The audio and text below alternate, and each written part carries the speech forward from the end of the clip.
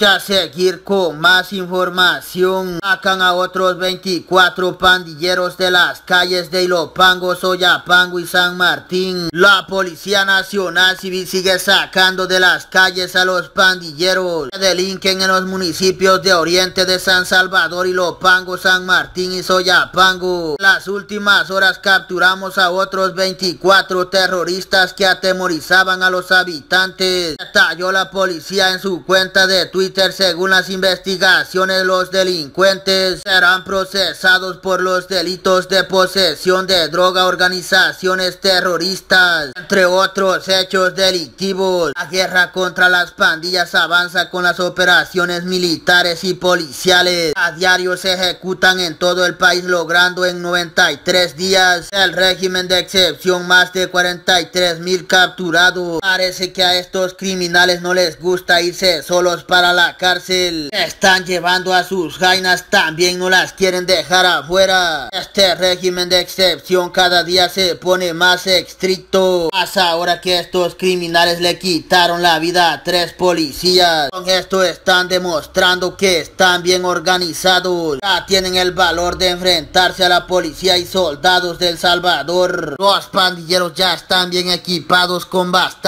armas y munición. Voy a seguir con más información amigos y amigas. Héctor Silva Ábalos se burla y dice que la muerte de policías es un show bajero. Héctor Silva Ábalos, fundador de la revista Factum y corresponsal de algunos medios internacionales, que le toma la palabra en todo sin primero investigar. Ahora se burló de lo que está pasando la corporación policial del Salvador. Y es que este sujeto se burló y trató de show bajero la muerte de tres agentes de la Policía Nacional Civil en la ciudad de Santa Ana. Su show es cada día más bajero, aseguró Silva en un momento de mucha tensión, que automáticamente muchas personas e incluso seguidores de él respondieron a que al menos tenga un poco de respeto por las víctimas. Estos son pandilleros que están en contra del presidente Nayib Bukele hacen pasar por periodistas y son unos pandilleros corruptos y mafiosos. Si ustedes miran el Twitter de este delincuente, solo habla del presidente Nayib Bukele y lo critica. Algunos de estos periodistas han colaborado y se han enriquecido con las pandillas. También se han filtrado imágenes de estos opositores con pandilleros. Hablan del presidente Nayib Bukele y de estas cosas para hacerse famosos. A que nadie los tome en cuenta aquí en El Salvador y nadie cree en su revista Factum. Hasta el presidente Nayib Bukele dice que le queda bien el nombre a la revista. El presidente Nayib Bukele debería de ordenar la captura de este delincuente, meterlo a la cárcel junto con los pandilleros que es donde debería de estar. Hasta aquí la información, gracias por ver mi video, por favor denle me gusta.